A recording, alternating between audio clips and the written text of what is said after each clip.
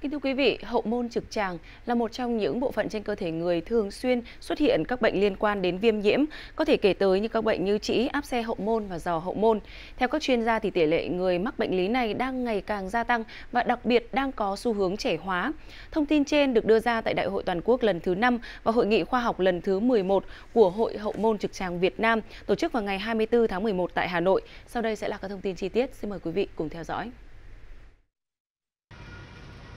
Theo các chuyên gia, hiện nay cuộc sống hiện đại có nhiều yếu tố nguy cơ dẫn tới các bệnh lý hậu môn trực tràng. Đặc biệt, lối sống thiếu khoa học khiến ngày càng có nhiều người trẻ mắc bệnh lý này. Từ à, à, lối sống này, rồi cách ăn này, ví dụ như bây giờ đặc biệt là những người mà gì ví dụ như người làm văn phòng, người lái xe, rồi thời gian và chúng ta biết là hiện nay một cái áp lực của một cuộc sống mới, đặc biệt chúng ta vừa trải qua một cái đợt dịch như vậy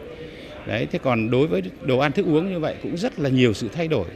Rồi các nhiều các cái loại thức ăn có tính kích thích có tính cay nóng nhiều hơn. Rồi áp lực của công việc phải ăn phải nhanh thậm chí là gì cũng gọi là ăn siêu tốc. Thì đấy chính là những cái điều kiện những cái yếu tố mà góp phần cho làm cho cái bệnh hậu môn chỉ tràng có xu hướng tăng lên. Và đặc biệt là gì? Có cái xu hướng trẻ hóa. Bệnh nhân đến khám với những các triệu chứng của vùng hậu môn trực tràng thì gần đây à, có xu hướng là gia tăng và so với thời điểm trước đây thì ờ, mình thấy nó có ờ, xu hướng trẻ hóa rất là nhiều. Đặc biệt là các bạn trẻ bây giờ cái chế độ ăn uống sinh hoạt các bạn trẻ nhiều khi đôi khi không phải công việc nặng nhưng mà có tập các cái môn thể thao với cường độ nặng ấy tăng cái tỷ lệ ờ, mắc các cái bệnh về hormone trực tràng ví dụ như bệnh trĩ à, điển hình là bệnh trĩ. Ngoài ra các cái à, à, trường hợp bệnh nhân đến khám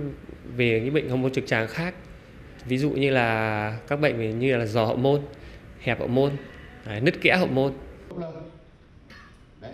Những năm qua, Hội Hậu môn trực tràng Việt Nam đã có những đóng góp to lớn trong quá trình chăm sóc sức khỏe nhân dân. Các chuyên gia đầu ngành đã triển khai nhiều kỹ thuật cao, nâng cao chất lượng chẩn đoán và điều trị các bệnh lý này. Đặc biệt là việc kết hợp giữa y học cổ truyền và y học hiện đại, song song với đó là đẩy mạnh công tác tuyên truyền, nâng cao nhận thức của người dân hội đã đề ra một cái cái cái, cái nhiệm vụ xuyên suốt đó là gì? Làm thế nào chúng ta phải cập nhật được kiến thức. Ngoài cho các bác sĩ chuyên ngành thì còn phải cho người dân thông qua các thông tin chính thống như thế này. Thì để chúng ta có thể triệt tiêu được những cái thông tin thiếu chính thống và đặc biệt là hiện nay chúng ta thấy đang tràn lan ở trên mạng xã hội để giúp cho người dân chúng ta có một cái cách nhìn à, chắc chắn và một cái cách giải pháp đúng trong cái việc là phòng cũng như là điều trị bệnh lý hậu môn trực tràng.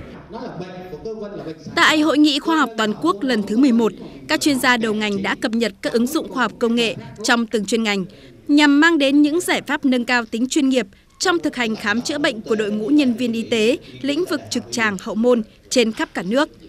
Trước đó, Ban chấp hành Hội Hậu môn trực tràng Việt Nam nhiệm kỳ năm 2023-2028 cũng được kiện toàn tiếp tục đẩy mạnh công tác tuyên truyền, phổ cập kiến thức y học thường thức về các bệnh lý trong lĩnh vực này, đẩy mạnh đào tạo chuyên sâu cho các bác sĩ chuyên ngành và không chuyên ngành, từ đó nâng cao chất lượng điều trị bệnh lý hậu môn trực tràng.